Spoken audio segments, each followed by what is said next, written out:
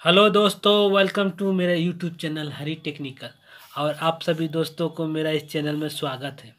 दोस्तों पहले आप सब्सक्राइब का जो लाल बटन है उसको प्रेस कर लीजिए और उसके बाद बेल आइकन आएगा उसको भी दबाना मत भूलिए। फ़र्स्ट नोटिफिकेशन मस्ट मेरा फ़र्स्ट वीडियो नोट नोटिफिकेशन पाने के लिए वो सब्सक्राइब करना आप लोगों के लिए बहुत ज़रूरी है। आ, और ये अगर वीडियो पसंद आए तो लाइक सब्सक्राइब लाइक ज़रूर कीजिएगा। तो शुरू करते हैं वीडियो आज का। दोस्तों, देखिए, ये एक प्लेट है। इसको एक मॉडल प्लेट बोलते हैं, जो कौंसिल का कौंसिल जैसे वाल कटिंग करके जो ऊपर से प्लेट बोर्ड लगता है स्विच बोर्ड उसका बोर्ड है हाँ?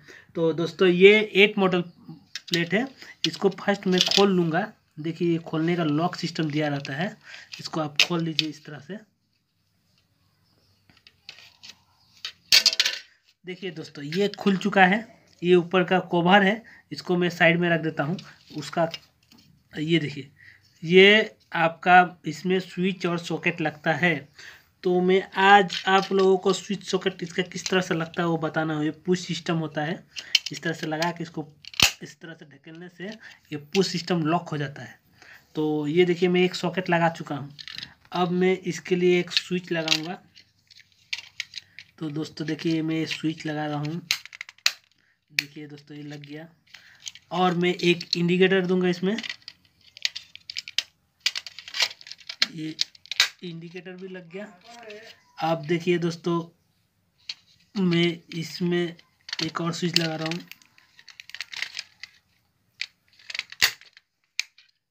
उसके बाद एक और स्विच लगेगा इसमें।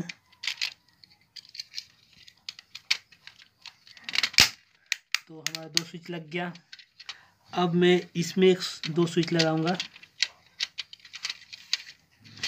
तो देखिए देखिए दोस्तों, ये स्विच लग गया। और ये ये हमारा स्विच सॉकेट कंप्लीट। एक सॉकेट, एक एक, पाँच स्विच और एक इंडिकेटर हमारा इसमें लग गया, एट मोटर बोर्ड में। ठीक है? प्लेट है? प्लेट भी बोलिए।